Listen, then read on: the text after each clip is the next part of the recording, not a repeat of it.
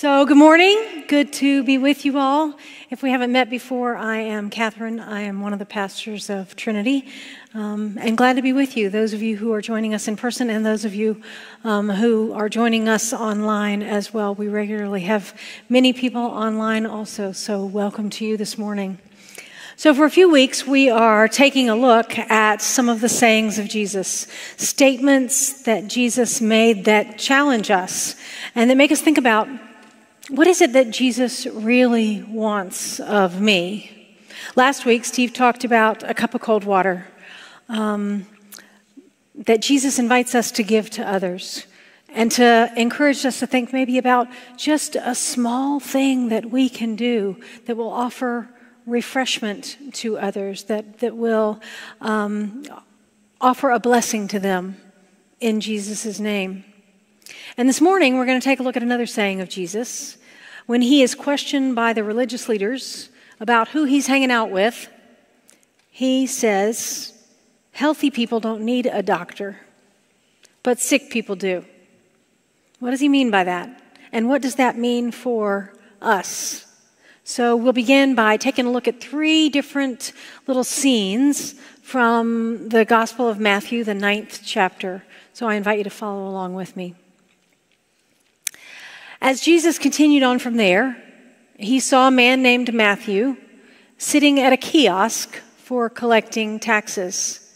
He said to him, Follow me. And he got up and followed him.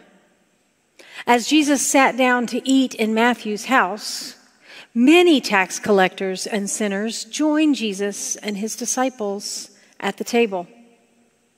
But when the Pharisees saw this, they said to his disciples, why does your teacher eat with tax collectors and sinners? When Jesus heard it, he said, Healthy people don't need a doctor, but sick people do. Go and learn what this means. I want sacrifice. I want mercy and not sacrifice. I didn't come to call righteous people, but sinners. And then we continue with verse 18 and the story of uh, the synagogue ruler's daughter and um, a woman who touched Jesus' clothes. Jesus, while Jesus was speaking to them, a ruler, this is a ruler of the synagogue, knelt down in front of him, saying, My daughter has just died, but come and place your hand on her, and she'll live. So Jesus and his disciples got up and, and went with him. Then a woman who had been bleeding for 12 years came up behind Jesus and touched the hem of his clothes. She thought, if I only touch his robe, I'll be healed. When Jesus turned and saw her, he said, Be encouraged, daughter. Your faith has healed you.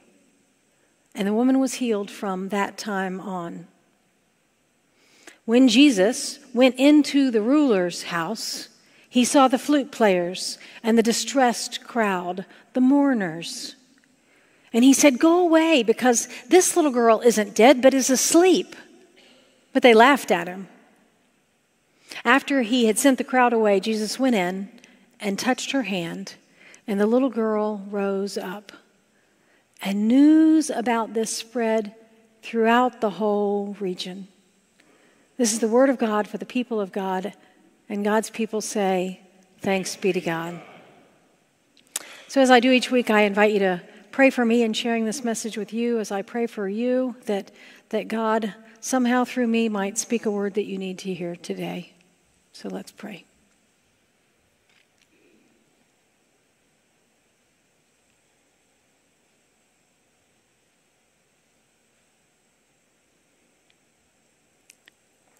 Oh God, may the words of my mouth and the meditations of all of our hearts be acceptable in your sight, for you are our rock and our Redeemer.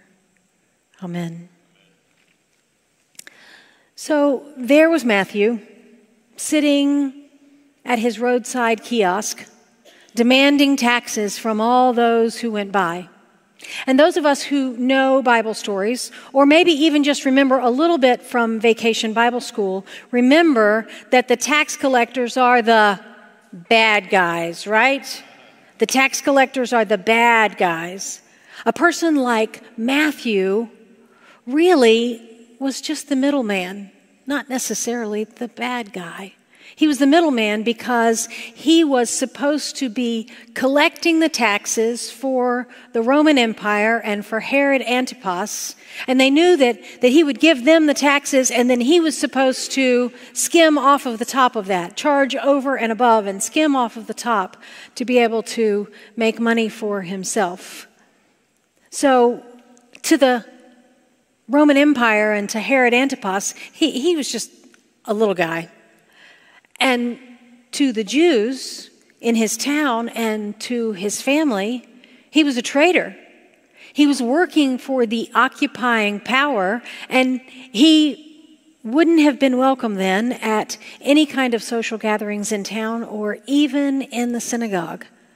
He would have been a nobody in first century Israel. Yet, Jesus said to Matthew, Follow me. And he went to the house then of Matthew, and there were many tax collectors there and other sinners, and they all shared a meal together. More nobodies Jesus is associating with. Next, the synagogue ruler comes to Jesus. Jairus is his name, we learn in the Gospel of, of Mark and of Luke. Jairus comes to Jesus.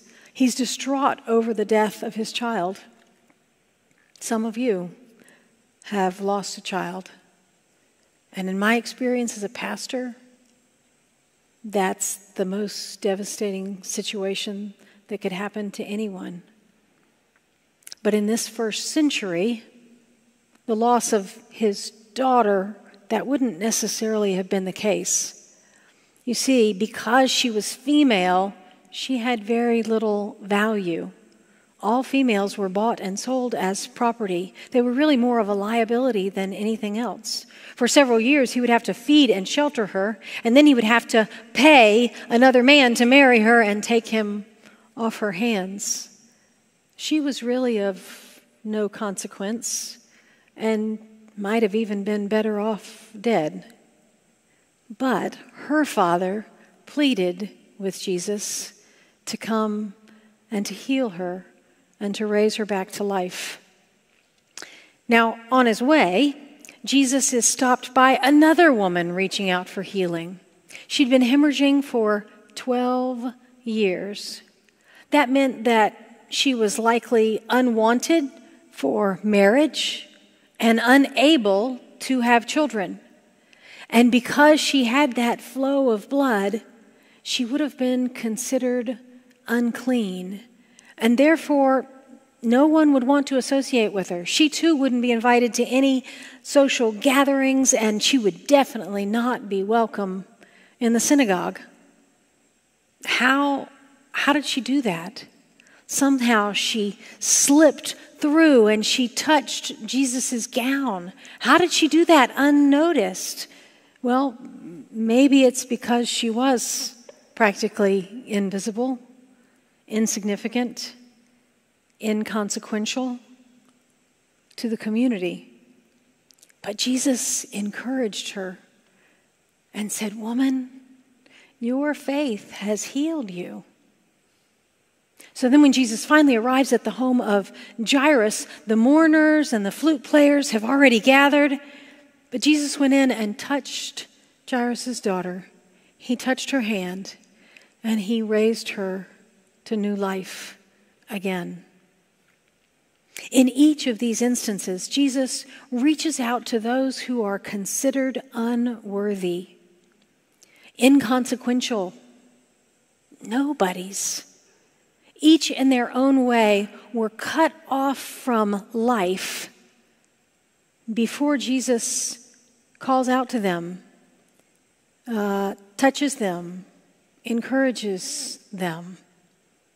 He reaches out and he offers them hope and dignity and community again. But from the Pharisees' point of view, Jesus didn't fit their image of a godly person. In their minds, God wants righteous and holy people to um, keep very careful about being separate from the riffraff. The Pharisees sought to establish the boundaries, to, to put up walls, to circle the wagons, if you will. They wanted to avoid the lepers and the bleeding women and the tax collectors and definitely the dead. They defined righteousness in terms of retreat, not reaching out. For the Pharisees, the world was this very neatly organized place according to who was religious and who was irreligious, who were the good guys and who were the bad guys. After all, there's comfort in knowing and clearly defining who are the outsiders because then we can rest assured that we're the insiders, right? If we can define who the bad guys are, then, then clearly we're confident that we're among the good guys. That kind of comparison, us and them, is typically comforting to us. So the religious leaders question Jesus about hanging out with the riffraff. After calling Matthew, Jesus went to Matthew's house and shared a table with even more tax collectors and even more sinners, probably prostitutes as well. How could he share a table and allow himself to be sullied by these unrighteous people? Jesus answers them in, in three ways. First, he responds with the proverb Healthy people don't need a doctor, but sick people do. He points out his saving role, his purpose his purpose in coming to earth, his purpose as God made flesh, is to touch the diseased in body, mind, or spirit, and to restore them to well being and wholeness. He comes knowing that he will be considered sullied when he does this. Second, he quotes the prophet Hosea from Hosea 6 6 and says, I desire mercy not sacrifice. It's that word hesed again. Steve brought it up last week. Hesed, mercy, not meaning pity, but loving kindness and unconditional love. But why does he talk about sacrifice? Well, he means I desire mercy, not religiosity. I desire mercy, not religious ceremony. Those who are Christ's true followers will be those who are genuinely merciful and who authentically love others. And then finally, he makes a statement about the, the nature of his ministry. He says, I didn't come to save the righteous, but sinners. Now, the familiarity of that saying may, mean, makes it not very startling to us but again and again in the Old Testament, it says that God loves the righteous and God hates the wicked. So to be told that Jesus' ministry is based on the reverse of that, reaching out to the wicked, well, that would have sounded outrageous to them at that time. So, once the tax collector and the woman and the young girl have been restored, they too are called to reach out and to bear witness to the kingdom of God. And the same holds true for us. In God's boundless mercy, we too have been restored. We have been offered loving kindness. And therefore, we too have been called to bear that same witness by reaching out, not retreating, but reaching out to offer love and dignity and well being to others.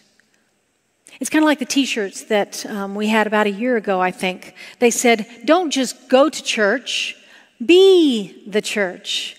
Be the church and offer loving kindness to others. Be the church and reach out to those that, that are seen as inconsequential and insignificant and nobodies. Be the church and reach out to those that nobody else seems to care about. Be the church to those who are considered the riffraff. Be the church and reach out to the outsiders. Be the church and invite others to the table, whether it's in the school cafeteria or at the Rotary luncheon or Wednesday night dinners here at Trinity. The table is where Jesus gathered with the tax collectors and the sinners. And on the night before he was put to death, the table is where he gathered with the disciples, including the riffraff among them, the one disciple who would deny that he even knew Jesus, and the other disciple that would betray him and hand him over to be executed. You know, each week in worship, we come to the table. And pretty much every week, we remind the congregation that we celebrate an open table. This table is a foretaste of the heavenly banquet, which is open to everyone. At the table, the youngest child and the most elderly saint are welcome. At the table, those who are still struggling to make sense of everything, and those who think they have faith all figured out are welcome. At the table, those who are confident in their faith, those who are exploring, those who are questioning, and even those who are filled with doubt are welcome. Our challenge today is to consider who it is that we personally might not want at the table with us, but we know God is sure to welcome. Who would Jesus be eating with that we might want to exclude? Who are those we see as insignificant, as inconsequential, as nobodies? Who is it that needs to come to the table with the one, the one, who alone can offer healing and restoration to them, just as he has offered to us? Think about your own home and your own dinner table. Most of us can say we know someone who's different than we are. We, we, we have friends who are of a different race or ethnicity or sexuality or economic level or, or mental or physical ability. But when was the last time you invited someone into your home to share a meal with you when was the last time you invited someone who was different than you? That's the kind of mercy and action we are called to. That's what it looks like, not just to go to church, but to be the church. There's an old movie that's a favorite of mine. Maybe some of you saw it years ago. It's called Places in the Heart. And Sally Field plays Edna Spaulding. She's a young woman living in Waxahachie, Texas in 1935 in the Great Depression. And she's lost her husband, and in order to save the farm, kind of accumulates a motley crew. She takes in a black handyman and drifter, played by Danny Glover to help her run the farm. Can you imagine a, a, single white woman and two children and a black man running a farm together?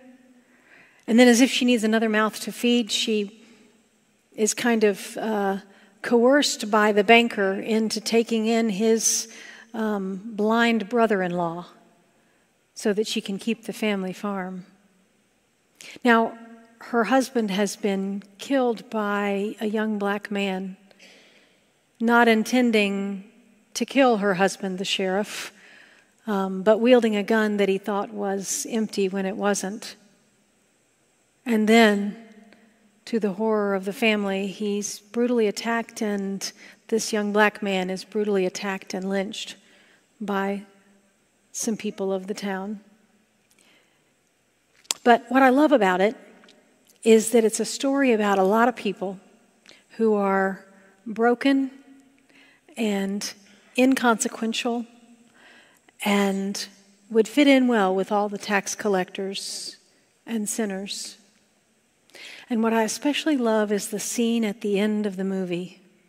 At the very end of the movie, we move into the little Baptist church in town, and everyone's sitting in the pews, and they're singing in the garden. And as they're singing, communion is being passed, and they pass the plate with the bread from person to person, followed by the tray with the little cups filled with juice.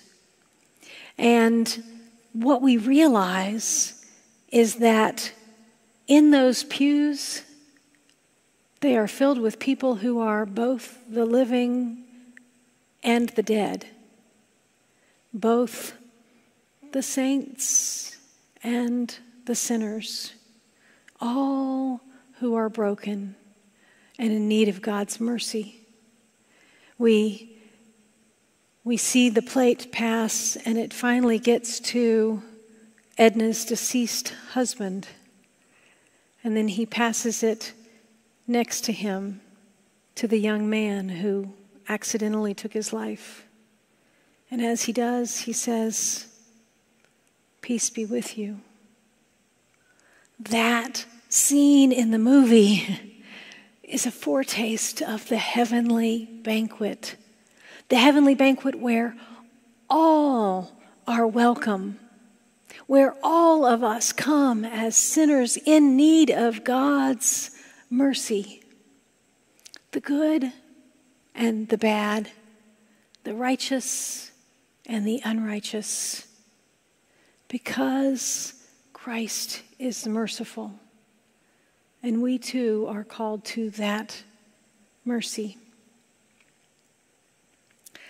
I want to close with the words to a hymn that are probably familiar to many of you, a good call and reminder to us. Come, ye sinner, poor and needy, weak and wounded, sick and sore. Jesus ready stands to save you, full of mercy, love, and power. Come, ye thirsty, come and welcome. God's free bounty glorify. True belief and true repentance, every grace that brings you nigh. Let not conscience make you linger, nor of fitness fondly dream. All the fitness he requireth is to feel your need of him. Come, ye weary, heavy laden lost, and ruined by the fall. If you tarry till you're better, you will never come at all. Thanks be to God for the mercy of Jesus Christ. Amen.